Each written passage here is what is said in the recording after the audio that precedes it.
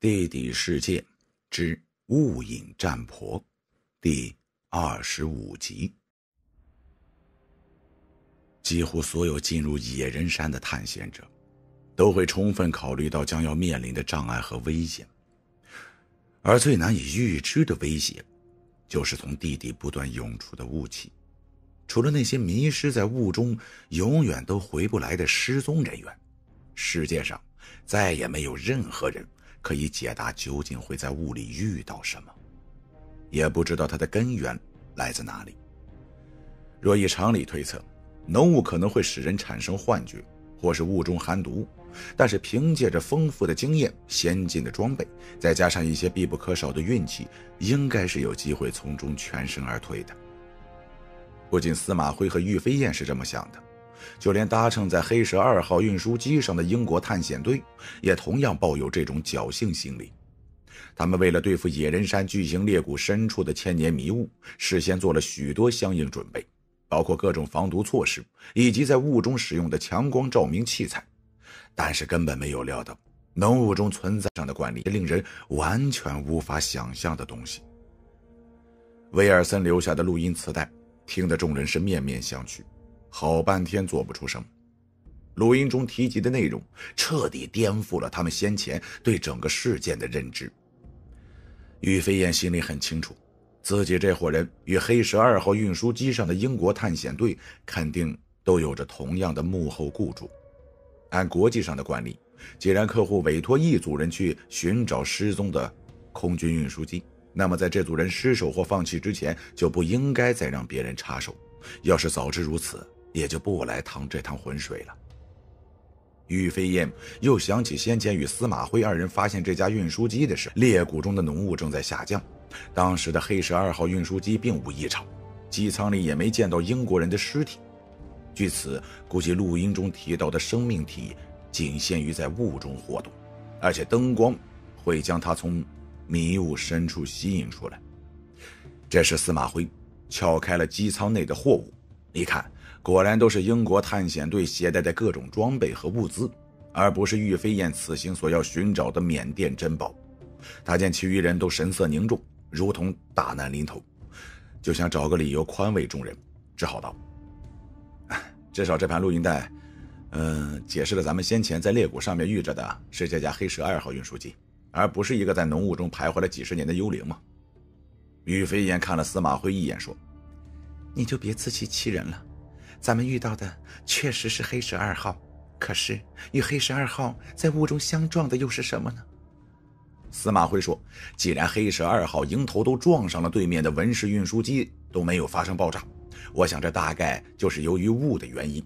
听说日时间常有海市山市的幻步，晚上在荒坟野地里也会有鬼事。浓雾中突然出现的。”多半是那架失踪的英国皇家空军运输机在几十年前留下的影子而已。太平洋战争末期，美军有整整一个中队的野马式战斗机在太平洋地区执行巡逻任务。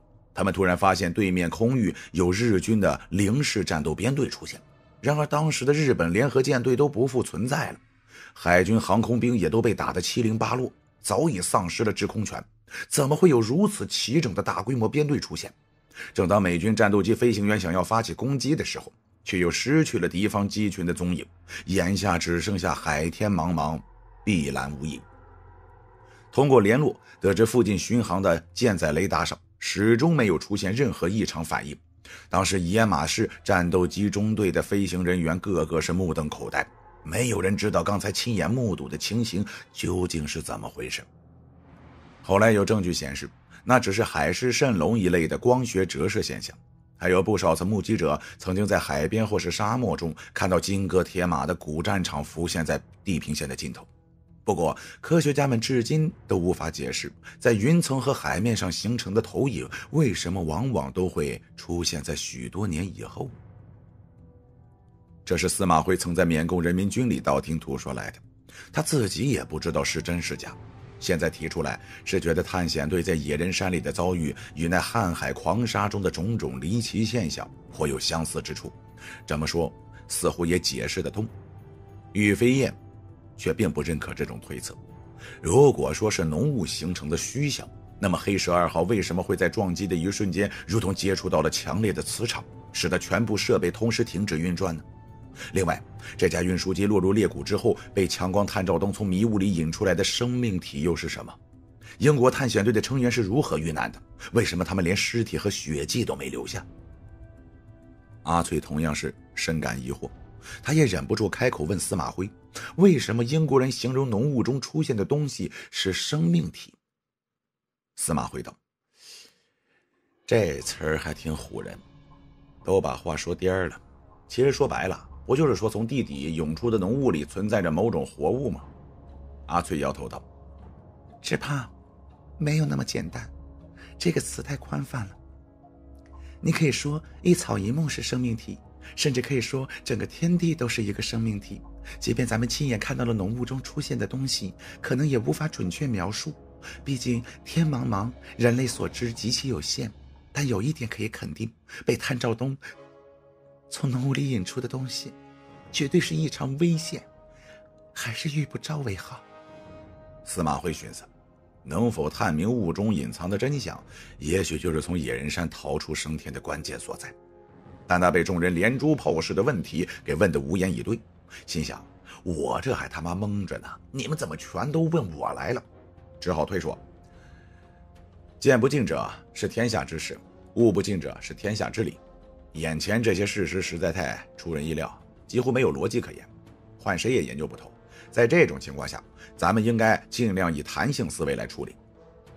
司马徽和阿翠都觉得不解，齐齐问道：“弹性思维是指什么？”罗大舌头抢先替司马徽解释道：“哎呀，这词儿还是挺唬人的，都把话说颠了啊！其实讲白了，他现在就是黄鼠狼偷鸭子，无计可施了。”只好把复杂的问题简单化啊，给他来个见怪不怪也就是了。咱们用不着自己跟自己过不去，否则，把脑袋给我吓破了啊！那吃亏倒霉的又不是别人。玉飞燕点头道：“说的倒也在理。此时山外暴雨如注，导致地下积水不断从岩层缝隙中渗落，造成这个地底洞窟内部也被雨幕覆盖，使得裂谷深处的浓雾尽皆消散。咱们正得天时，如果就此放弃。”无异于功败垂成。那架失踪的英国空军运输机曾经通过无线电联络，确认降落在了雾中，并没有陷入泥沼。这地底多是泥沼泽，能够允许文氏运输机降落的区域，只有纵深狭长的一片湿地而已。如果继续向南徒步搜索，我们仍然有机会找到那架失踪的运输机里装载的货物。宇飞燕以前做事。无不是随心而动，根本用不着对手下多做解释。可司马徽这几个人皆属于临时入伙，真是半路上甩手不干了，自己也奈何不了他们，只好忍着性子，好言好语的商量。他又对众人嘱咐道：“兵贵神速，现在不能过多耽搁。”必须尽快采取行动，因为说不准热带风团带来的狂风暴雨还能持续多久。他要是万一在途中转了向，或者是突然减弱，事情可就麻烦了。那时候浓雾肯定还会出现。在出发之前，大家伙应该多携带一些英国探险队留下的必要物资，特别是防身的武器和食物，以及照明装置。如果在途中突然遇到浓雾出现，就要立刻关掉探照灯和聚光手电筒。在万不得已的情况下，可改用冷荧光剂一类没有热量的化学光源。说完，他就从英国探险队的货物中寻找着应用之物。玉飞燕意外地发现了一部肩背式通讯电台，便问司马辉等人谁会使用。阿翠看了看，说：“这是 PRS 二五七七型军用战术无线电，美国产的。我懂一些通讯，应该可以用。但这地下痛窟没有别的幸存者，要拿它跟谁联络呢？”玉飞燕道：“咱们得手后。”即便是能逃出这巨型裂谷，可在野人山外没有接应，恐怕也走不出去。带上它有备无患嘛，总能派上用场。司马徽见玉飞燕布置有方，算得上是光着屁股坐凳子，有板有眼。换做自己也没有更好的策略，于是便没再多说什么。其余几人也对此没有异议，当下各自着手准备。只是罗大海这辈子也从来没让女人指挥过，嘴上心里不说。嘴上虽然没说，心里却免不得犯点嘀咕。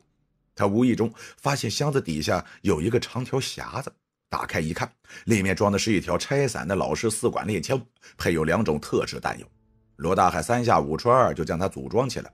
就见这条猎枪大的都出了号了，而且枪身材质考究，工艺非常精良。四条枪管呈十字装置，左右两管为散弹，上下两管为大口径膛线。他在当地听人说过，以前有英国贵族在缅甸、印度等地会去猎取野象和犀牛，专门使用这种猎枪。犀牛的那身坚皮厚甲，足能防御来福枪弹的射击，却唯独抵挡不住这种超大口径的猎象枪。罗大海喜出望外，对司马徽道。哎，这枪跟他们后膛炮没啥区别啊！有它傍身，我心里可他娘就踏实多了。司马徽提醒他道：“罗大石头，你他妈这是想打坦克呀？我告诉你，使用这种大口径猎枪可得悠着点。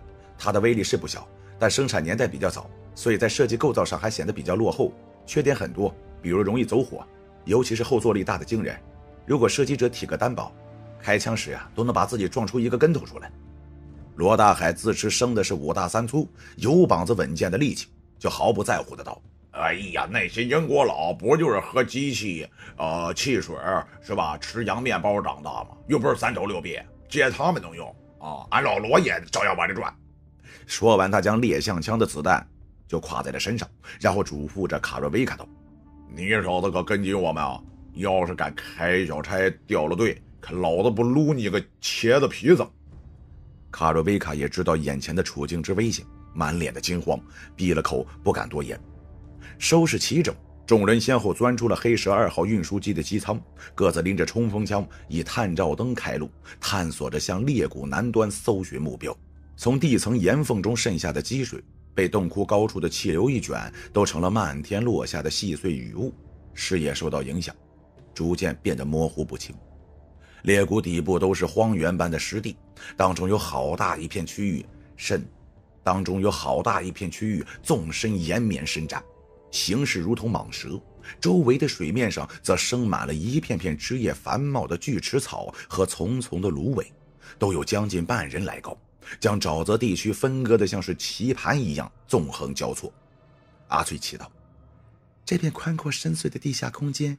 终年都被浓雾封锁，从来不见天日，得不到半点光合作用，怎么会生长着如此丰密茂盛的沼泽食物呢？司马徽也有同感。最反常的是，这里实在太空旷，而且洞窟的深度不下两千多米。